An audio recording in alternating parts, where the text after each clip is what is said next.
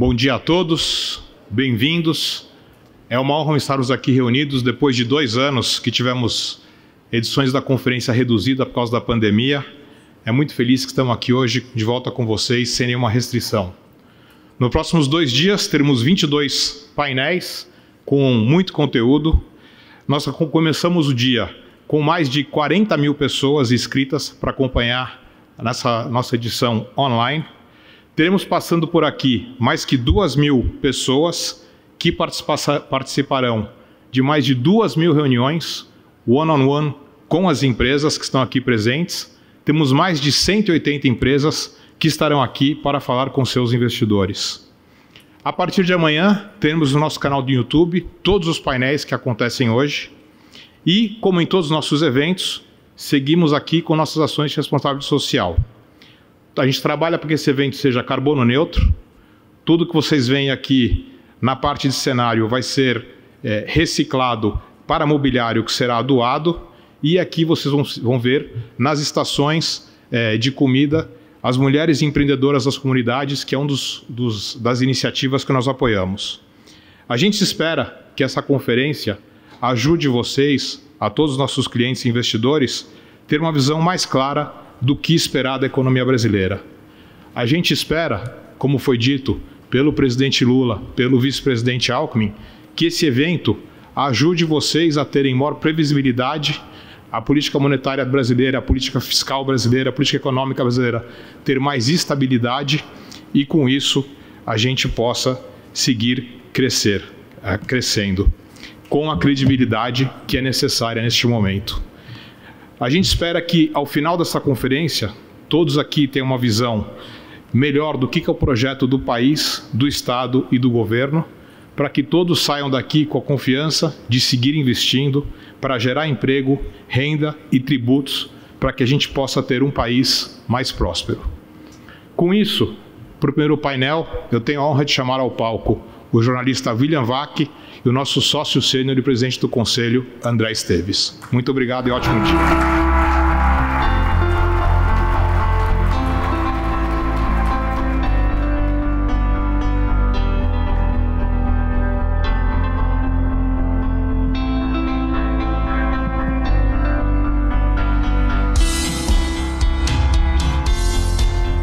Todos, não estou acostumado a dar bom dia às pessoas, minha piada favorita, muito menos em vê-las. Bom dia, André, obrigado pela oportunidade. E é um público que não gosta de perder tempo. É, André, como sempre, nossas entrevistas não são combinadas, isso é importantíssimo. O, o público já notou isso daí. Né? É, essa é a ideia. É, há uma pergunta muito fácil para um evento desse tipo, que é qual é a sua apreciação da questão fiscal? Não é mais uma pergunta fácil. Porque, como uma boa parte do governo diz que nem existe crise fiscal, isso é uma invenção é, dos rentistas, dos mercadocratas, inventaram uma crise fiscal para manter os juros altos, o que parece uma pergunta simples virou uma pergunta capciosa, André. Eu adoro perguntas capciosas. Qual é a sua apreciação da questão fiscal? Olha, eu, eu acho que ela não é capciosa, não ela, ela é simples, porque me parece básico e eu acho que o Brasil já, já tem um certo grau de evolução institucional, não significa consenso, mas evolução institucional, que um país é mais ou menos como as nossas empresas ou as nossas casas, você não pode gastar mais do que ganha. É, ou se isso acontece, tem que ser no período transitório, como foi a pandemia.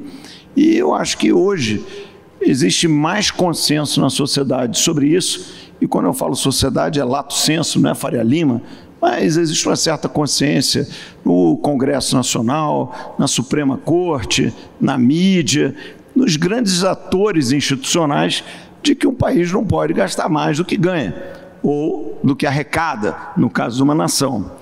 E esse argumento de que crise fiscal é coisa dos rentistas para poder manter os juros altos, ou, ou rentista que gosta de política, é, política monetária apertada é, é, para combater do fiscal, na verdade, é uma contradição per si, né? Porque se você fizer uma política fiscal ajustada, o juro vai ser mais baixo, portanto, o rentista vai ganhar menos. Então, é, ele é um contrassenso e que cabe a nós, e acho que você tem a oportunidade de diariamente é, conversar sobre esses temas com formadores de opinião no Brasil e faz isso muito bem, por isso está aqui batendo esse papo.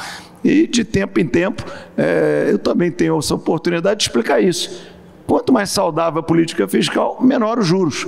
Isso não é uma novidade, não é um voluntarismo, é um benchmark global que funciona há muitos anos, eu diria há décadas. É um consenso muito claro e muito óbvio. Portanto, o rentista é o mais prejudicado com a política fiscal saudável. André, a sua resposta significa dizer o seguinte: o mundo é redondo. Por que, que o governo acha que é plano? Agora já foi para o capcioso. Né? É naturalmente. Deixa você esquentar um pouquinho. o, naturalmente. É, existe sempre visões alternativas, sonhos. Mais recentemente apareceu aí uma tal teoria moderna monetária, né, onde é, tenta eliminar as restrições fiscais e o próprio papel da política monetária. Ora, e aí você pinta um mundo que é meio uma, um mundo que é uma Disneylândia. É, para qualquer governante, eu não diria nem de esquerda, se você não tem restrição monetária, não tem restrição fiscal, pode fazer o que você quiser. É um Wonderland, né? é um mundo que todos querem viver. Infelizmente, ele não existe. Pode ser que alguns tentem é, viver nesse mundo, e eu acho que, infelizmente, será o custo da sociedade. Né? Outro dia eu, eu, notava que algumas lideranças políticas, no, no afã de defender essa moderna teoria monetária, estavam usando a Turquia de exemplo. Né? Que, a inflação, que, que a taxa de juros é 9 e que a inflação é 70, ou em torno disso e, portanto, a taxa de juros não precisa ser mais alta do que a inflação. Ora, mas a questão da causalidade está completamente errada, né? A inflação é 70 porque a taxa de juros é 9 e não o contrário.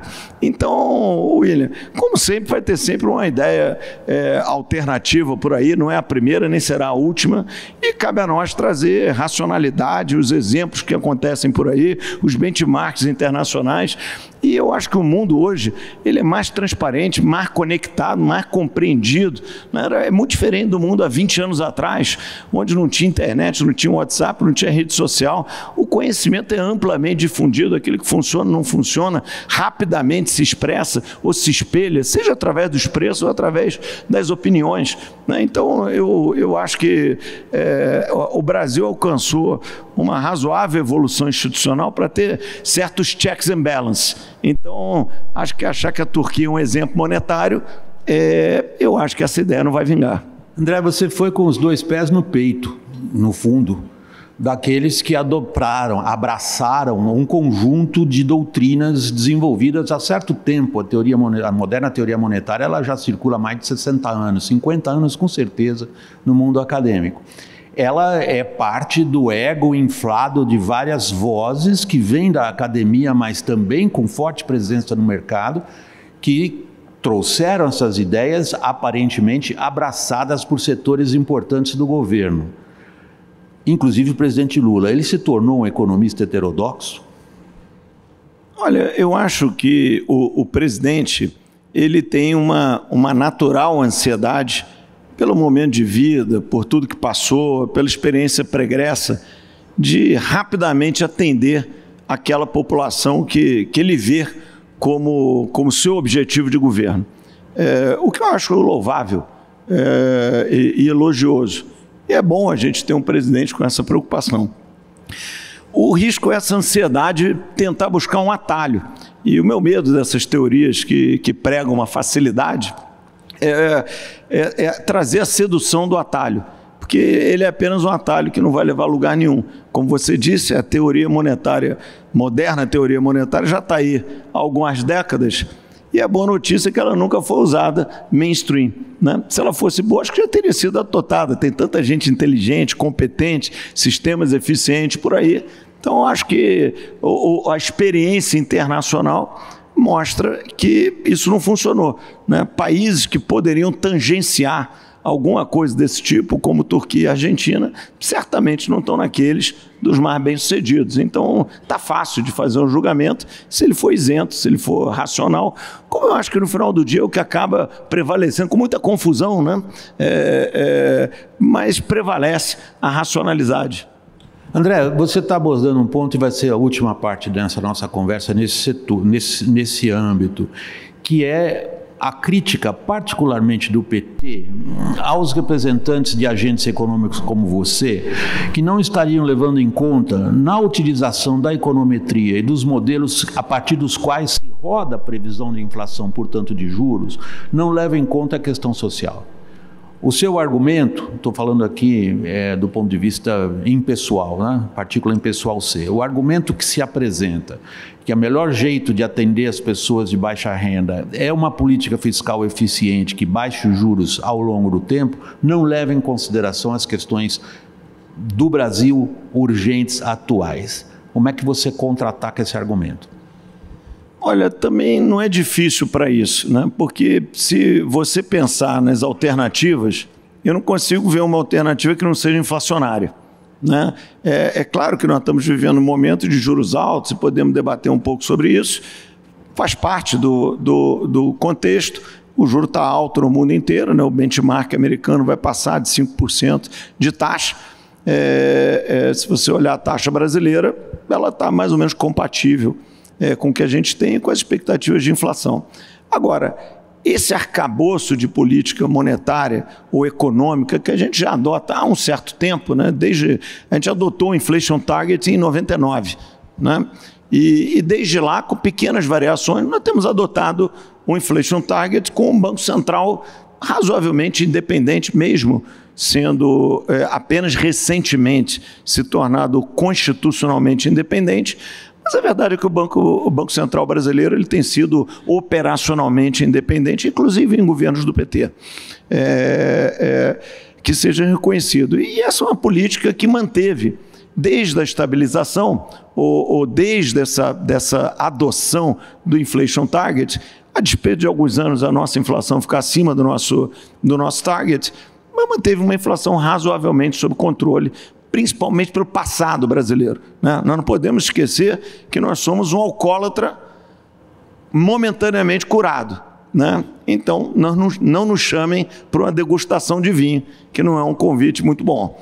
Então, é, é a, o, o, tema todo se, se gira em torno da inflação. E essa tese de que, puxa, vamos ter um pouquinho mais de inflação que o juro vai baixar, é, eu acho uma tese muito perigosa para quem tem um passado como o nosso. E a experiência mostra que toda vez que você cruza um certo patamar de inflação, que é mais ou menos em torno de 4%, é, você começa a disparar os gatilhos daqueles organismos mais acostumados com inflação, de indexação, de inércia, e que fazem o combate da inflação ser muito mais difícil. E aí, William, não existe meia resposta. Para quem está preocupado com o social, o mais pernóstico de todos os impostos é a inflação. Porque ele, além de provocar desigualdade, provoca pobreza. Ele é extremamente injusto em quem ele prejudica. O rico se consegue se proteger e o pobre é frontalmente atacado por ele. André, deixa eu voltar um ponto. Uma das maiores críticas que se ouve e que vem de parte do partido do governo a representantes de setores econômicos como você, especificamente, pessoalmente falando agora, é o seguinte: por que a banqueiros como você é tão difícil reconhecer que o juro é uma vergonha? Porque ele não é. O juro ele, ele não é uma variável voluntária. Né? O Banco Central, que tem um arcabouço técnico que vai muito além do seu presidente ou dos seus diretores, né? tem toda uma área técnica, tem toda uma, diretoria composta por técnicos muito competentes é, que modelam a economia brasileira e que se reúnem é, a cada 40 dias, mais ou menos, para discutir qual a melhor maneira de você conduzir as expectativas e manter um ambiente inflacionário de acordo com os objetivos do Banco Central, né?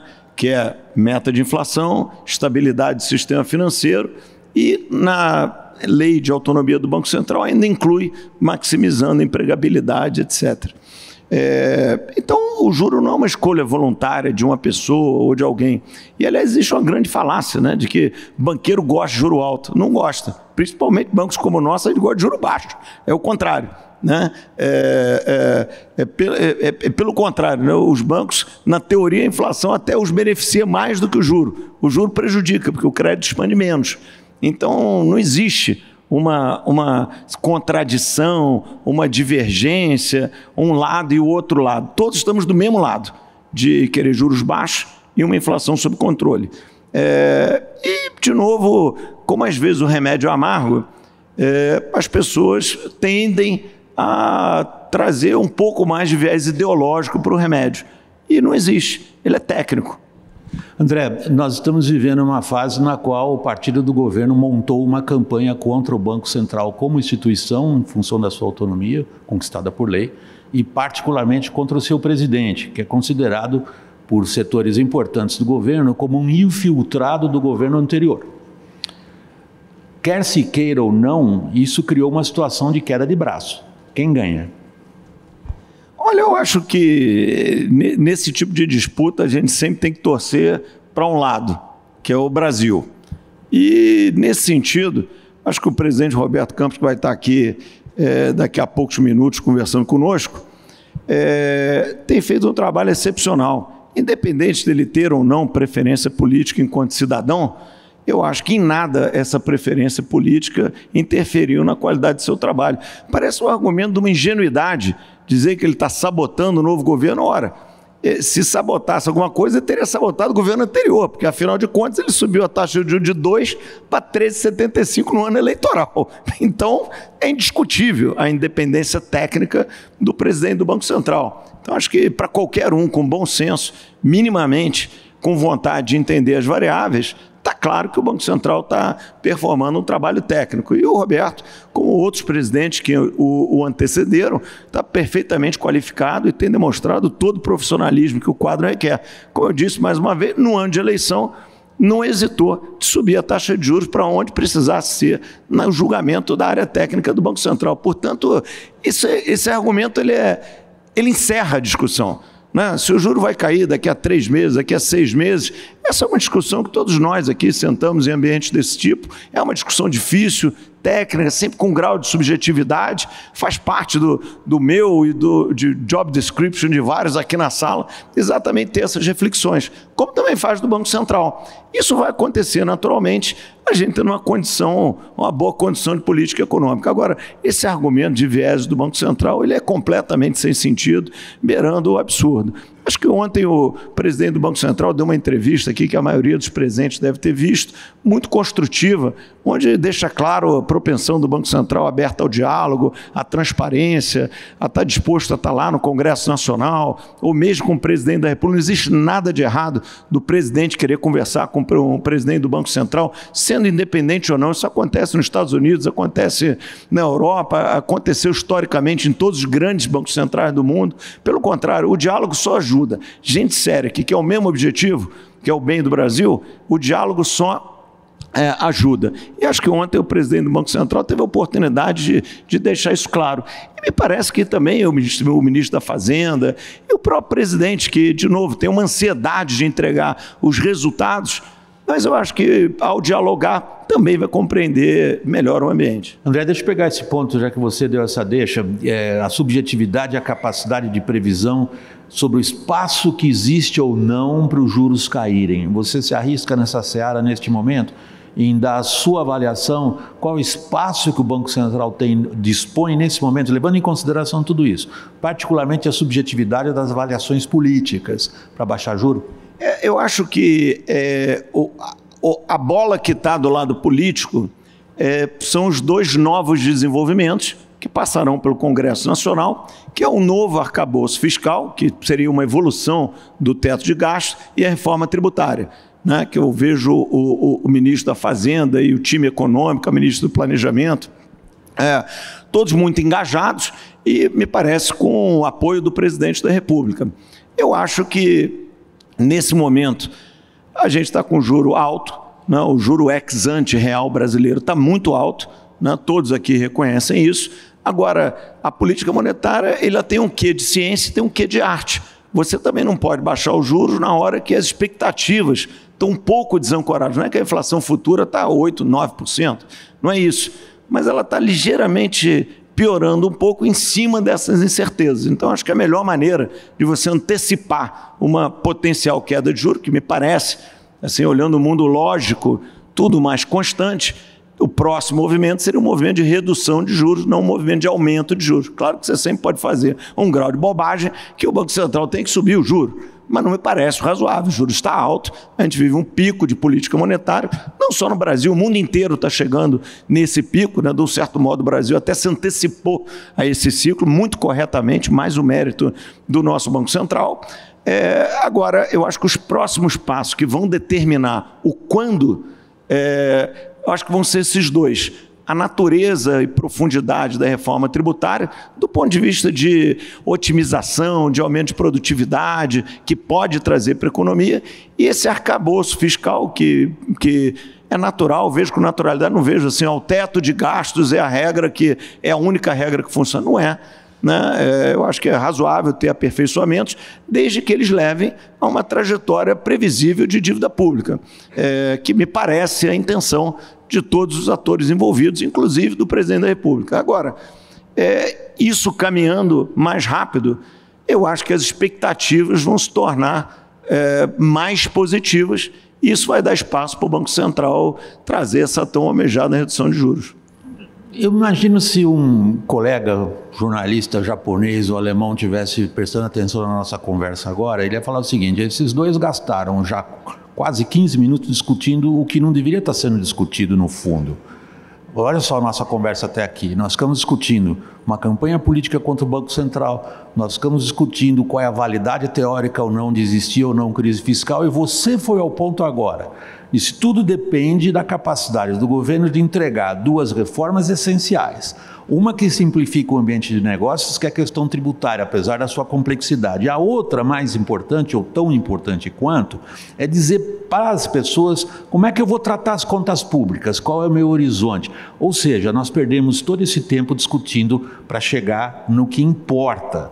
Vamos ao que importa agora. Você consegue entender em que termos essa, digamos, é, confecção de um arcabouço fiscal barra controle de gastos, sobretudo despesas, vai se dar?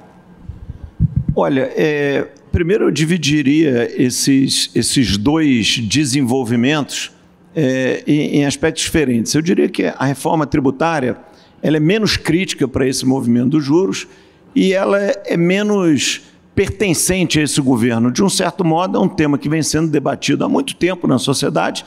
E vamos lembrar, né, nós tivemos uma reforma tributária aprovada na Câmara, tivemos uma é, é, também no Senado, né, a PEC 45, versões que tem até um razoável denominador comum e um debate muito amplo. E me parece que o debate da reforma tributária atual, ele está sendo uma continuidade desses dois debates. Ou se você me perguntar, eu diria que a nova reforma proposta vai ser uma, uma fusão, mais ou menos, entre o que está por aí. Ou seja, é uma coisa que esse governo será apenas o, o, o, o quem vai empurrar a bola para o gol, ou pelo menos tentativamente empurrar essa bola para o gol. Porque, afinal, apesar da grande evolução, é, a gente não conseguiu executar a reforma tributária no governo passado. É, a reforma tributária é sempre a mais difícil de ser feita. Né? Porque diferente da Previdência, que é, é 10 contra 90, nós, e mesmo assim nós demoramos 20 anos para os 90 ganhar dos 10, a reforma tributária é um pouco de todos contra todos. Existem naturais competições dos diversos atores econômicos na sociedade, né? Estados exportadores com estados importadores, estados com governo federal, serviços com indústria, setor financeiro, setor real. Tem muitos conflitos naturais, né? É, ou grandes temas que, que estão espalhados pela sociedade que precisam, vesperos que precisam ser mexidos, excesso de subsídios, pejotização, coisas que estão criando um unfairness tributário na sociedade que precisa ser endereçado, e aí não é só pelo governo, muito também pelo Congresso. Então é uma agenda que eu diria é de Estado, é, que obviamente vai ter uma influência na política monetária, mas é uma agenda de Estado, com muita complexidade, e você acompanha isso aí também há muitos anos, mas que a gente nunca teve tão perto de um consenso. Ora, aqui é, todo mundo se perguntar, puxa, mas vamos ter que tributar o dividendo? Ora, é o melhor regime tributar o dividendo, não tem nada de errado. Agora, vamos tributar o dividendo e vamos reduzir o imposto de renda da pessoa jurídica, numa conta que seja neutra. É um regime tributário melhor, mais justo, mais moderno, mais correto com a sociedade. Então, eu acho que a gente atingiu bons conceitos, bons consensos. Então, eu estou mais animado com o que a gente pode produzir. Vamos ao arcabouço fiscal. O arcabouço fiscal, eu, eu aí sim é uma, uma coisa mais ligada a esse governo, que criticou o teto de gasto, que tem vários defeitos, é, mas também cumpriu uma função. Se você olhar, eu, o Mansueto cansa de mostrar por aí, eu não estou vendo aqui o Mansueto, mas é, é, é um gráfico de, de redução de despesa a partir do teto, ele acontece né? É, ele teve um efeito muito grande, né? porque o, o Mansueto é um dos pais do, do, do, negócio, mas ele teve sua efetividade, e uma bela efetividade. Né? Então, se nós vamos substituir por alguma outra coisa, o que eu acho que depois de X anos do teto do gasto é válido, alguma coisa que. Porque o teto ele só pega a despesa, mas ele inclui a receita, inclui. Então, às vezes, você leva alguns corners, como foi o problema do precatório e tal. Pode ter alguma evolução? Pode. Agora, qual o objetivo disso tudo? É mostrar para os agentes econômicos, é, para os agentes políticos, sejam locais, internacionais, que o Brasil tem uma trajetória sustentável de dívida. Tão simples quanto isso. Você precisa ter grandes criatividades. Esse sim, eu acho que tem um efeito muito grande sobre as expectativas e é um teste para esse governo. Eu acho que o Congresso está maduro para adotar um mecanismo simples, mas que sugira é, e, e, e, traga uma inferência clara de estabilidade da dívida. Agora, isso vai ter efeito nas expectativas e, portanto, como consequência, vai ter efeito na análise do quadro pelo Banco Central. Outro palavrão que você acabou de citar, estabilidade da dívida. Como é que você está vendo isso?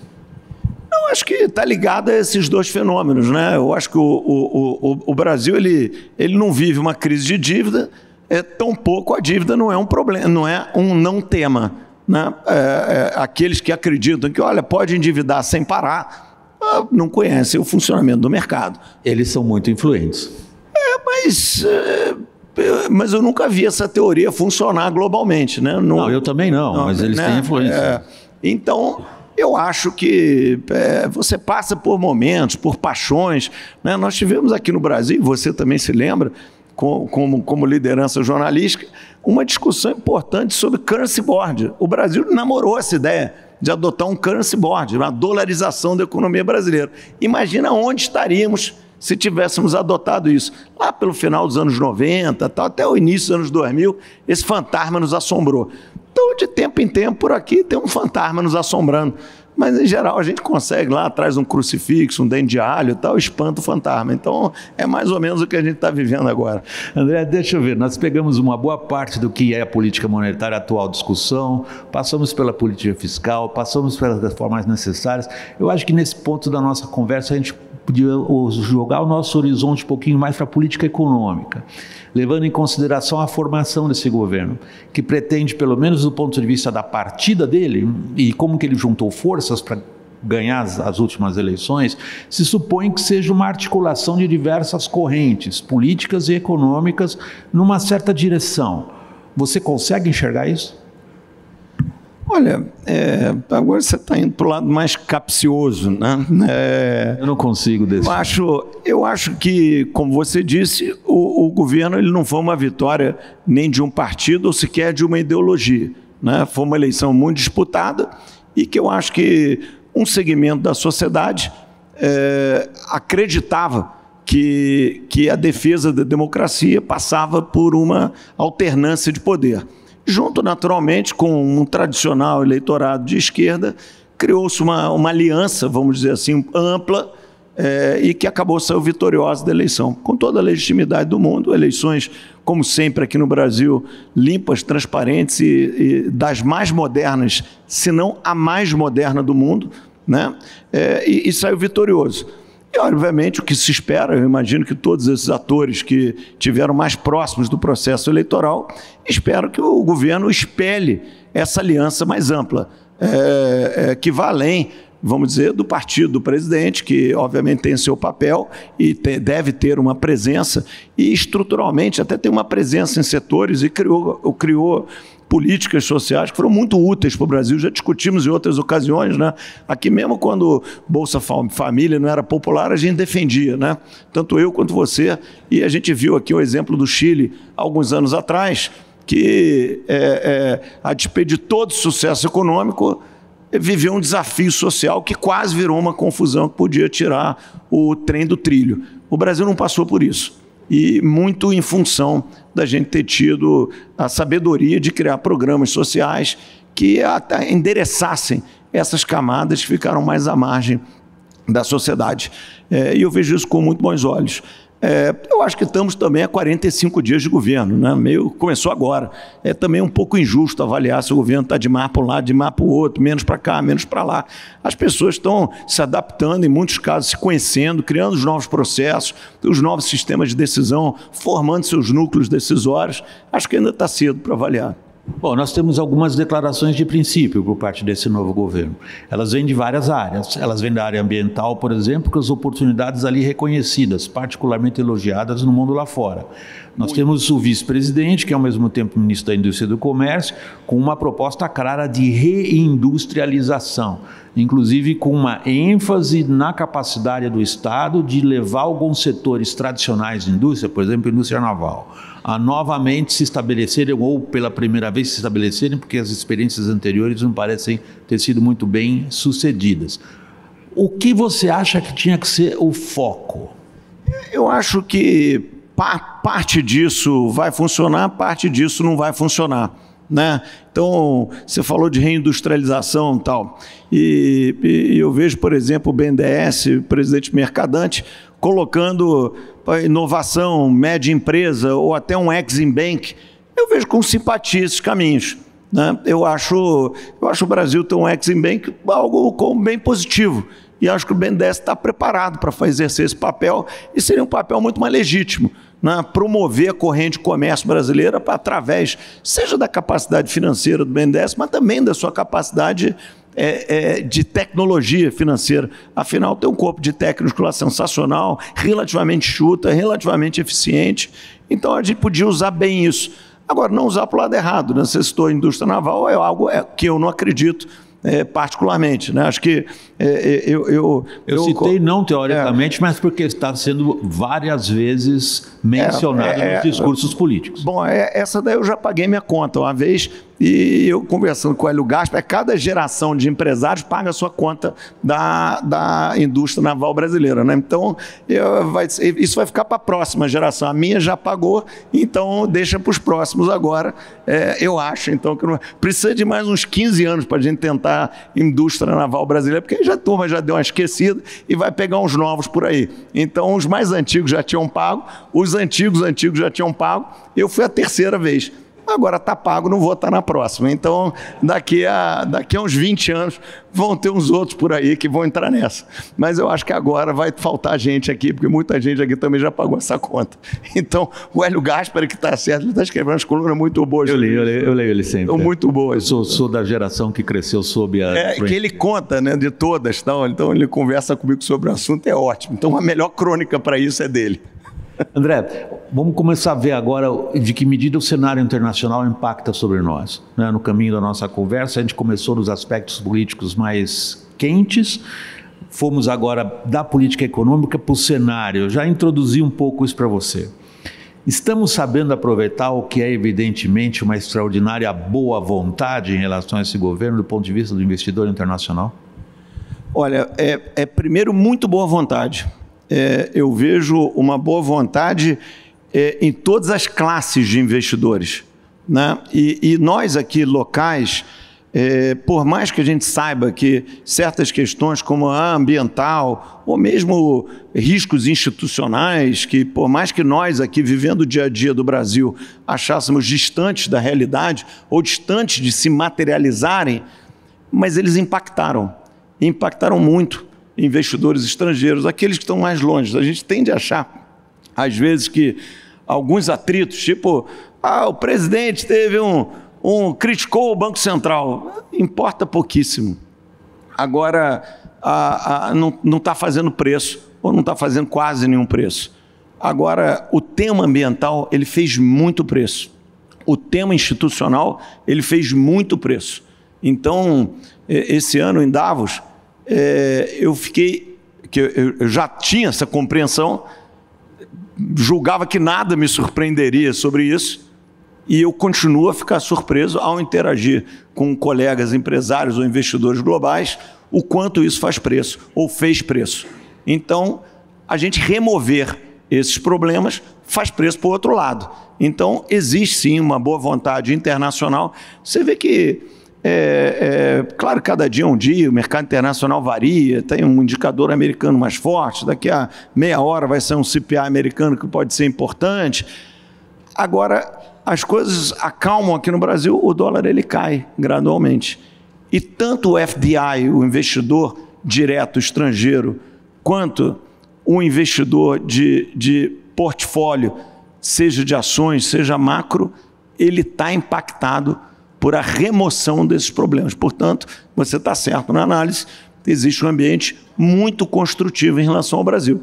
É claro que a gente pode jogar esse ambiente fora fazendo uma opção de bobagem, mas se a gente fizer o mínimo certo, eu acho que a gente tem uma reprecificação de ativos aqui no Brasil. André, nós estamos vendo uma situação internacional que, nesse momento, as pessoas olham do ponto de vista geopolítico com enorme preocupação. Nós vamos ter tempo para entrar nesses aspectos também. Mas eu queria, em primeiro lugar, já que você mesmo está mencionando números que vêm saindo do mercado americano, ver na sua avaliação como que o jogo, inflação que a gente vê, por exemplo, a Alemanha semana passada caindo, nos Estados Unidos, os comentaristas, se eu estou lendo os comentaristas que estão bem antenados, há uma tendência dela segurar, ao mesmo tempo o mercado de trabalho lá continua quente. O, como que você antecipa os movimentos dos bancos centrais nas economias avançadas e o impacto disso aqui? Olha, William, quando a gente conversou aqui no passado, exatamente nessa data, é, é, eu me lembro que nós discutimos esse mesmo tema e eu fui muito enfático sobre uma reprecificação de política monetária global, ou mais precisamente da taxa de juro americana. É, eu acho que, obviamente, que essa reprecificação ela aconteceu. Né? O juro saiu de 0 para 5. Se ele vai ser 5,10, 5,40, 5,5, 5,70, é, é uma discussão aqui para os profissionais. Agora, tem um tema que eu ainda estou um pouco intrigado, ou talvez um pouco cético, que é esse processo de desinflação. Claramente está acontecendo um processo de desinflação no mundo, né? é fácil você perceber ele, seja pelos índices, seja por medidas empíricas muito importantes. Então, por exemplo, o preço do frete voltou exatamente ao preço da pandemia. Teve um disruption localizado na, no, nos supply chains globais, o preço do frete enlouqueceu e ele foi gradualmente voltando, voltando, voltando e se normalizou. Bom, que bom. Ah, o gás na Europa é, teve a crise da Rússia, a crise da, da, guerra da Rússia com a Ucrânia, então ele explodiu de preço. Tiveram uma série de medidas, mais ajuda no inverno moderado, e o gás mais ou menos se normalizou. Então, alguns grandes preços que se deslocaram se normalizaram. Por outro lado, é, é, eu estou vendo uma certa clareza da inflação, usando a inflação americana como benchmark, migrar de 8, 9% para 4, 5%. Por outro lado, o 4, 5% por 2, eu acho que ainda é um untold story. Eu acho que a gente vai ter ainda um pouco de discussão ao longo dos próximos meses sobre aonde a gente está de fato nessa desinflação. E aí, eu não consigo ver, porque a princípio os mercados estão mais ou menos enxergando que, olha, é, vai dar uma desaceleradazinha, vai desinflacionar, não vai ter muito desemprego, não vai ter nem recessão e tudo virou uma maravilha. Eu não sei por, se, é, se é a minha formação brasileira, mas eu acho que está bom demais para ser verdade. É, eu acho que vai ter um pouquinho mais de confusão ou de dor para você consertar esse negócio. Claro aonde, que, aonde, aonde, você, o que vem na tua cabeça quando você fala confusão? Eu acho que pode ter um pouco de recessão ou um pouco mais de desemprego. Não? O emprego está muito forte nos Estados Unidos e essa ideia de que o Fed vai é, subir o juro pouquinho e depois começa a cair no terceiro trimestre, eu estou achando que está tá muito otimista. É, você tem que lembrar, falamos disso também no passado, William, a gente viveu 15 anos de juros reais negativos na economia americana e basicamente no mundo inteiro. Né? Num dado momento, tinham 15 trilhões de bonds tradeando a taxas nominais negativas no mundo. É, ora, isso criou uma, um modo de pensar, um mindset, num grupo de traders, portfólio managers, analistas, economistas globais muito construtivo, de um mundo quase perfeito. Mas a história não mostra que o mundo é um pouco mais, com todos os avanços que nós tivemos, com todos os consensos que nós criamos, o mundo sempre traz seus desafios. E eu acho que essa equação de que, olha, não vai ter desemprego, não vai ter recessão, não vai ter uma correção, não vai ter nada, e a inflação voltou para 2 e o juro voltou para 3 ou para 2,5, eu estou achando que está perfeito demais. Talvez a gente tenha um, uma desaceleração maior do que a gente está prevendo. Você eh, coloca que tipo de desafio do ponto de vista da nossa economia, quando a gente considera o impacto da sua avaliação do comportamento dos mercados lá fora em relação ao que a gente tem a oferecer lá fora? Olha, eu acho que o Brasil ele está com muita gordura nesse sentido. Então, se o juro é 5 ou 5,5, se ele vai ficar 18 meses ou vai ficar 9 meses, ele sempre tem um impacto é, é, numa economia como a brasileira. Né? O mercado fica mais propenso a riscos de mercado emergentes, fica mais pro, a, a, diferencial de taxa de juros ele é muito importante. Né? Então, se a gente tem o juro de 3,75, se a taxa americana é 5,5, a gente não vai poder baixar o juro para 7 rapidamente. Vai ter que ser uma coisa mais gradual. Agora, o Brasil está com muita gordura, muita gordura de preço. Né? Eu não acho que nem na moeda, nem na taxa de juros, ou mesmo no preço dos ativos financeiros, é, microeconômicos ou ações brasileiras, a gente esteja caro. Então, tem espaço para a situação lá não ficar nenhuma maravilha e o Brasil melhorar. Se a gente fizer as coisas moderadamente certas, eu acho que é isso que vai acontecer. Então, não é um impeditivo para esse patamar de preços que o Brasil tem. E como a gente falou na pergunta anterior, o investidor estrangeiro ainda está relativamente desalocado de Brasil. Apesar de ter tido muito fluxo de investimento de portfólio, pode ter muito mais. A participação de investidores estrangeiros na dívida pública ainda está perto da, das mínimas históricas. Né? O investimento de FDI, ano passado, foi o maior é, é, é, dos últimos 10 anos, mas só no passado. Né? Ele está retomando. O investimento na economia brasileira ele vinha retomando. Né? É, então, acho que a gente ainda está em patamares que a gente aguenta algum desaforo externo e consegue melhorar as condições aqui. André, você citou um aspecto que me chamou muita atenção na sua resposta anterior, quando você falou do mindset, que toma, é, que, que, ocupa o, o foco de quem toma decisões. No caso, nós estamos falando de decisões em escala planetária. O mindset se acostuma com um tipo de situação age em função dessas situações e nem sempre é capaz de se preparar para o que vem. Se a gente colocar a guerra da Ucrânia e as transformações geopolíticas como um peso, e a gente colocar os balões chineses como símbolo de outra tensão internacional de enorme significado, como é, e vamos caminhando para a parte final da nossa entrevista, é um assunto que eu sei que está no teu coração, que é a história, a guerra, a situação geopolítica e como isso impacta nas decisões de investidores. Colocando isto em perspectiva, o mindset nosso, sobretudo depois da queda do Muro de Berlim, era presumir que um regime de respeito às regras internacionais, baseado no multilateralismo e com a liderança dos Estados Unidos, fosse forever e o que nós estamos vendo, particularmente de um ano para cá, exatamente uma semana depois que a gente esteve conversando aqui, é uma transformação geopolítica extraordinariamente profunda e preocupante. Quanto que você perde de sono com a guerra da Ucrânia? Olha, é, eu acho. É, primeiro, a, a gente vive um curioso cenário que é quase uma hibernação quanto ao tema. Né? É, em geral, as pessoas estão vendo a inflação está refluindo nos Estados Unidos, é, a Europa está com certo grau de crescimento e, e, e contornou a crise de gás é, da guerra da Rússia, é, e a China está fazendo uma reabertura é, do Covid, que todos nós aqui conhecemos como é que é o desenvolvimento, que é naturalmente positivo de curto prazo. Isso tudo são curtos prazos positivos. Mas se a gente avançar para o médio ou longo prazo, eu estou um pouco, um pouco mais cético. Né? Começando pela Europa, a Europa não resolveu o problema da guerra, a Europa se acostumou a viver com a guerra. A guerra continua sendo, como eu já usei aqui a expressão, um untold story. Né? Pelo contrário, silenciosamente, a guerra escalou ao longo desses últimos meses. Né? A gente está vendo o envio de armas cada vez mais pesadas pelos aliados, uma situação de dificuldade da Rússia, e você pensa é, como Putin vai perder uma guerra convencional no quintal de casa com aquele arsenal nuclear.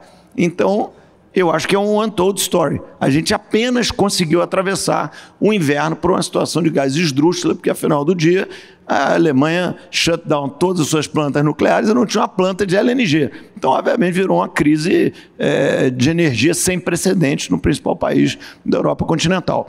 É, é, então, a gente se acostumou, mas não necessariamente o cenário é positivo. Idem vale para a China.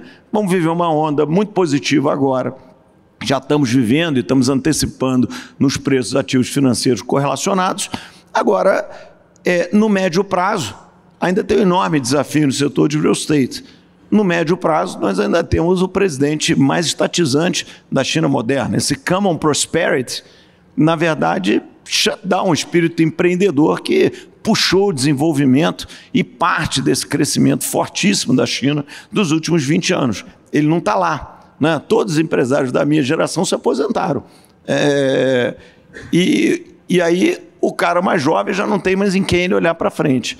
Então, eu estou um pouco preocupado com esse desenrolar. E, obviamente, sobre tudo isso, é, essa tensão Estados Unidos e China, você também é um estudioso de história, toda vez em 10 mil anos né, que a segunda potência ascendeu à posição de primeira potência, foi um momento de tensão no mundo. Né? Desde Roma antiga até agora, sempre teve uma confusão. Infelizmente, algum grau de confusão nós vamos viver. Essa semana nós vivemos essa experiência meio esdrúxula desses balões, né? porque os radares não estão não tão preparados para pegar é, é, é, é, objetos a 70 mil pés é, e de repente começou a rodar o radar, tem balão para tudo que é lado. Né? É, obviamente que foi um setback no movimento que tinha sido positivo. O último encontro do Chico com o Biden foi muito positivo no âmbito do G20, mas não teve o follow-through esperado, infelizmente. As consequências para isso, toda vez que você tem um grande deslocamento geopolítico, você tem ganhadores e perdedores. Curiosamente, nós estamos na posição de ganhadores, ou potencialmente ganhadores. Né? O caso mais notável de todos, no passado recente, é os Estados Unidos na Segunda Guerra. Então, eu, eu na, na semana passada, eu tive no México, eu passei um dia e eu, não, eu, fiz uma coisa que eu não fazia há muito tempo, que foi eu rodei por um tempo de helicóptero na cidade do México. E olha, aquela carreteira norte né, que segue para a fronteira, o desenvolvimento de centros logísticos é um negócio assim. É, mas centros aqui nós temos uma boa capacidade logística, tem muita gente aqui até do setor, é, no Brasil. Agora, não tem nada parecido. Então, essa, essa maior democratização de supply chains, né? essa mudança de prioridades na organização dos supply chains globais, que antes eram baseados puramente na eficiência, e agora tem outros critérios, né? Tem food security, energy security, geopolitical security, como mais importante deles, podem é, beneficiar países como os Estados Unidos, como o México ou o Brasil, em grande escala. Então, é um mundo diferente e o mundo está sempre diferente. A gente achar que tudo. A, a, a palavra que você usou, forever, ela é muito perigosa quando se trata de geopolítica. E agora a gente vive um momento tenso, mas que, curiosamente, pode ser benéfico para a nossa região do mundo nos coloca um desafio importante, já que nós estamos gastando nossa conversa com essas questões geopolíticas de futuro. Nessa, digamos, que você mesmo decide, porque você acabou de citar a armadilha de Tucídides, da Guerra do Peloponeso. Toda vez que uma potência desafia a potência estabelecida, nós teremos um conflito armado inevitável.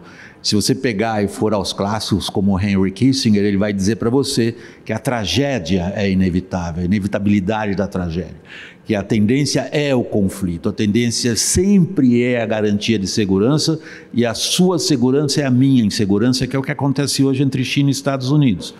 Isso coloca o Brasil numa situação peculiar.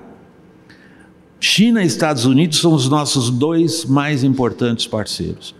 Já que você é um leitor de história, você sabe que a geopolítica tem supremacia sobre o comércio. Se o comércio tivesse tido a importância que tinha, que se esperava que tivesse, a Primeira Guerra Mundial não tinha acontecido. Imaginar que o crescimento do comércio entre a China e os Estados Unidos evite uma guerra entre os dois parece ser uma ilusão. O que isso coloca para o Brasil em termos de inserção geopolítica? Nós estamos nos oferecendo, por exemplo, como potência neutra para mediar a guerra da Ucrânia. Olha, é, eu, eu acho que a gente não deveria ir tão longe. Né? O, o, Acho louvável a gente promover a paz global e fazer declarações de cunho pacifista. Eu acho que isso é tanto simpático quanto necessário. Agora, me parece também um pouco pretensioso nós sermos um ator eh, de uma relevância um pouco além é, é, nesse conflito que está no coração da Europa. Né? Acho que não é um conflito onde nós seremos atores principais. Amanhã, se tiver uma, uma guerra, como já teve entre o Peru e o Equador, nós podemos ser atores principais de intermediar essa paz, ou mesmo uma relação entre Venezuela e Estados Unidos. Acho que a gente poderia se colocar como um ator importante. Acho que é, Rússia e Ucrânia não é muito o nosso, o nosso métier. O que a gente deveria se posicionar é, me parece muito claro e tirar um privilégio que nunca foi tão importante é, como agora. É, primeiro, nós temos uma posição de neutralidade, né? coisas que outros países, em outras ocasiões, viveram ao longo do tempo. Então, não é uma, uma coisa única. Eu acho que a gente tem que se manter neutro nós fazemos negócio com os Estados Unidos, fazemos negócio com a Europa, fazemos negócio com a China. Recebemos todos como investidores aqui no Brasil igualmente. E nesse sentido não existe preconceito ideológico. O Brasil recebe bem, nós como sociedade, e isso reflete nos diversos matizes partidários, a gente recebe bem todos esses investidores, fazemos negócio com todos esses players é, sem nenhuma restrição. Só que nós estamos num momento muito mais importante do que qualquer outro do ponto de vista da nossa posição geopolítica que o Brasil é o maior produtor e exportador de alimentos do mundo. E a gente nunca teve nessa condição. E é uma condição hoje valorizada em todos os cantos do mundo. Então a gente pode conviver com a nossa neutralidade, pode continuar investindo, isso sim, mais do que a indústria naval, quanto mais tecnologia na produção de alimentos e indústrias correlatas a isso, eu acho que a gente tem enorme competitividade industrial para é, é isso. Né? Não adianta inventar a roda. Agora, podemos ser o mais competitivo no mundo em celulose, é, em proteína? Podemos e devemos. Então, que bom que andamos nessa direção. E essa posição de o país do G20 com a matriz energética mais saudável, maior produtor e exportador de alimentos do mundo, de fato, é uma posição de uma liderança é, uma liderança nichada, vamos chamar assim, mas de vital importância, que eu acho que nos permite uma posição de neutralidade, fazendo negócio com todo mundo, fazendo investimento com todo mundo, sem ter pertur ser perturbado por isso. E o que maximiza a nossa posição é isso. É a neutralidade. A gente não deve querer ser o que nós não somos. Intermediar conflito de Ucrânia com Rússia não é nossa praia. Né? Não, não, não vamos fazer um bom papel aí. André, eu tomei conta do tempo, nós estamos chegando, infelizmente, eu adoro essa conversa, ao final desse segmento. Tem muito mais coisa pela frente e agradecer a você a disposição de dar a entrevista. Muito obrigado. Obrigado, William. Sempre prazer aqui conversar. Obrigado a todos aqui pela presença.